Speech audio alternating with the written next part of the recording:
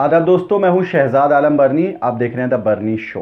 आज हम अपने शो में जो मुद्दा लेकर के आए हैं, वो मुद्दा है सर सैयद अहमद खां का 202 साल जश्न योम पैदाइश।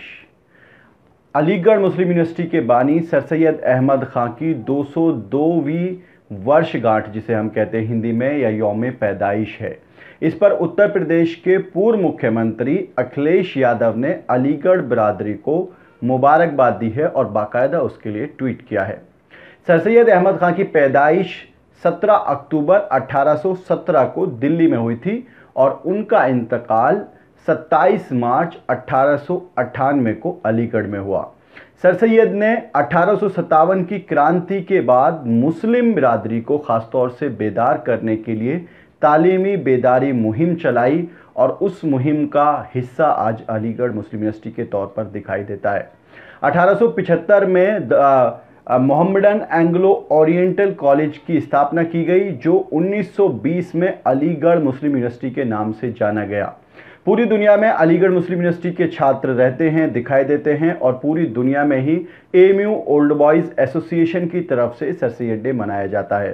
सर सैद डे यानी कि सर सैद की जयंती या कह सकते हैं सर सैद की योम पैदाइश। इस मौके पर अलीगढ़ बरदरी को ख़ास तौर से चाहे वो हिंदू हो या मुसलमान हो, इसको लेकर के अखिलेश यादव की तरफ़ से एक मुबारकबाद पेश की गई। अखिलेश यादव ने बाकायदा ट्वीट करके जो मुबारकबाद दी है, उसका ये स्क्रीनशॉट हम आपको दिखाते हैं।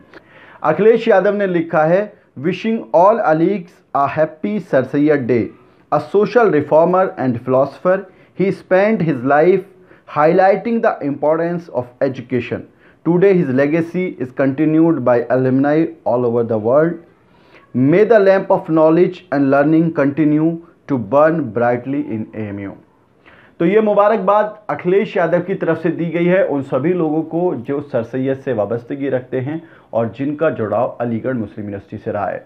हम अखिलेश यादव का शुक्रिया अदा करते हैं, ख़ासतौर से एक अलीगेरियन होने के नाते और सभी अलीगढ़ बरदरी की तरफ़ से अखिलेश को शुक्रिया अदा करते हैं। आज के प्रोग्राम में इतना ही। हम आपसे दरख्वास्त ज़रूर करेंगे कि सर सैद का वो मिशन जिस पर वो चले थे, उसको आगे बढ़ाने की कोशिश करें और उसको आगे बढ़ाते रहें।